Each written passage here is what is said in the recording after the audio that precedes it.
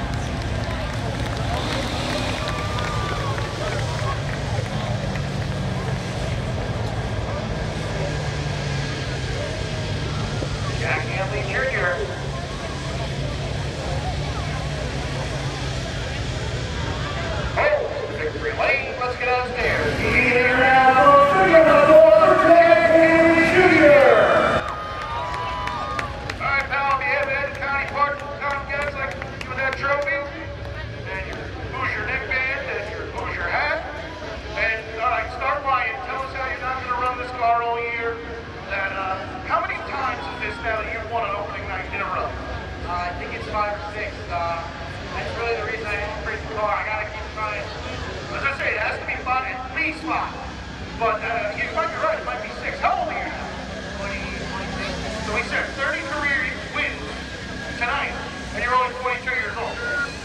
Yeah, I got, I mean, I got a while to go, but um, I got to thank my dad.